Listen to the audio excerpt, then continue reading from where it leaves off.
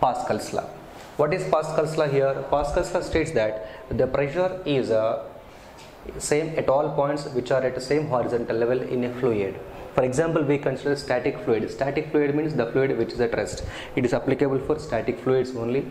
The Pascal's law is uh, mainly applicable for static fluids. According to this law, it is applicable for uh, static fluids. It states that the pressure is same at all points which are at the same horizontal level. Means, uh, let us consider is a container containing some liquid. Consider three points here A, B, C. The three points A, B, C are at same horizontal level so that the pressure at the three points will be same. So we can write pressure at A is equal to pressure at B is equal to pressure at C. This is the Pascal's law. Here Pascal's law states that the pressure is same at all points which are at the same horizontal level which are at the same height. So the points a and a b and c are at the same horizontal level so that the pressure at uh, those points will be same. That is the pressure at a is equal to pressure at b equal to pressure at c. Now this pascal's law can be demonstrated can be verified like this here. Now we consider liquid containing in a container in this liquid, we consider a small element in the form of a right angled prism.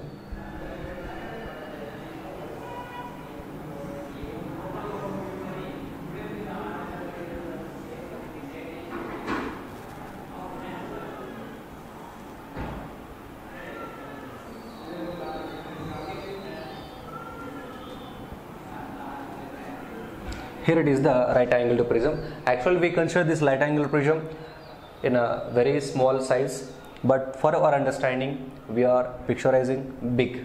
Means uh, to understand means to demonstrate uh, this Pascal's law clearly uh, we take this size big. Now suppose it is having the three faces. It is a face A it is a face B and it is face C. Face A vertically face B horizontal.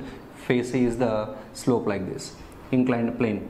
Now A B and C it is having three faces now area of the face A is a A, area of the face is AB, area of face is C is AC. Now this is the part of the fluid inside the fluid now here. Now on this part and every face there will be forces. On face A force acting is FA which is perpendicular to the surface and on face B the force is FB perpendicular to the face and also on face C force is FC which is also perpendicular to the face. And we consider the angles like this here. This angle uh, theta 1 and uh, this angle is uh, theta 2 now let us try to prove the Pascal's law. Means let us try to, we have to we are going to prove that the pressure on face A on face B on face C is same. How does these faces are at same horizontal level?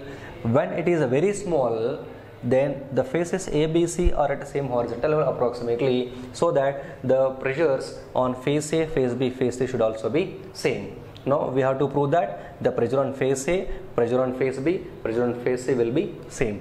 To prove this, what I am doing here, first of all, let us apply the sine for the angle theta 2. Sin theta 2. Apply this for areas. Areas now sine means uh, opposite by hypotenuse. Area of opposite face is uh, AA. Area of uh, hypotenuse face is AC.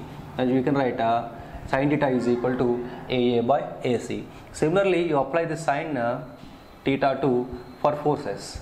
Force acting on the opposite forces, uh, opposite face is FA and force acting on the hypotenuse face is FC. Now here sine theta 2 is same so we can write uh, AA by AC is equals to FA by FC. From these two doing cross multiplication taking FC this side AA this side now we can write FC by AC is equal to FA by AA. FA by AA is the pressure acting on face A and FC by AC is the pressure, acting on uh, face C. Similarly, we can also prove that that is equal to pressure on face B also. Now, for this uh, theta 2, you apply the cos now. Cos theta 2 is equal to, now this cos theta 2 applying for areas now first area of the adjacent face that is AB by area of the hypotenuse face that is AC. Cos theta is equal AB by AC. Similarly, apply the cos theta 2 for the forces also. Now, cos theta is equals to cos theta 2 is equals to force acting on adjacent face that is FB by force acting on a hypotenuse face is FC. Now again cos theta 2 are same. We can equate these two. Now AB by AC is equals to FB by FC. Again doing the cross multiplication we write uh, FC by AC is equal to FB by AB. FB by FC by AC is a pressure acting on face C is equal to this is a pressure acting on face B. Already this uh, pressure acting on face C is equal pressure acting on face A means uh, PA, PB, PC are mutually equal. So we can write uh, PA equal to PB equal to PC so that the pressures acting on the faces A, B and C are equal if this uh, right angled prism is very small. If the right angled prism is very small then the faces A, B and C are at the same horizontal level. If the level is same, pressure are same. So this is proved like this here. PA is equal to PB is equals to PC.